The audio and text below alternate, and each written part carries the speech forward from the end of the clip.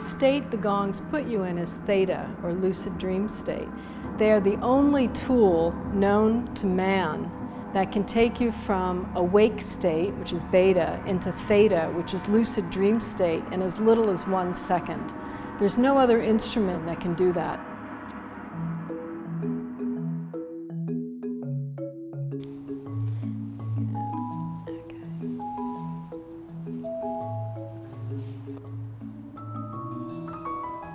And when you're in theta, then your body is completely relaxed. All your muscles are jello. It's the state you're in before you wake up in the morning, when you're completely limp in bed, but your mind is still active. And when you're in that state, all your internal organs can operate effectively, and your immune system can kick in. And when that happens, you wake up rejuvenated, renewed, and refreshed.